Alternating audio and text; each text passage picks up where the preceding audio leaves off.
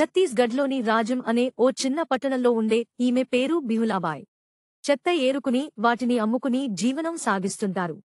అయోధ్య రామమందిరాన్ని సందర్శించాలని ఇప్పుడు ఈమెకు విశ్వహిందూ పరిషత్ నుంచి ప్రత్యేకంగా ఆహ్వానం అందింది. దానికి ఓ కారణం కూడా ఉంది. ఎందుకంటే రామమందిర నిర్మాణం కోసం రెండు వేల ఇరవై ఒక్కలో ఈమె ఇరవై రూపాయల విరాళమిచ్చారు కాబట్టి. ఇరవై రూపాయలే కదా అని అనుకోవద్దు. అది ఆమె రోజువారీ ఆదాయంలో సగం. అప్పట్లో రోజుకు నలభై రూపాయలు సంపాదిస్తుంటే అందులో ఓసారి ఇరవై రూపాయలు విరాళంగా ఇచ్చేశారు. అందుకే ఇప్పుడు విశ్వహిందూ పరిషత్ సభ్యులు ఓ స్లంలో ఉండే ఆమె ఇంటిని వెతుక్కుంటూ వచ్చి అయోధ్యకు రావాలని ఆహ్వానించారు. దేశవ్యాప్తంగా ప్రతి పట్టణంలోనూ రాముడి అక్షంతలు తీసుకుని ఓ ప్రత్యేకమైన క్యాంపెయిన్ చేస్తున్న విశ్వహిందూ పరిషత్ సభ్యులు.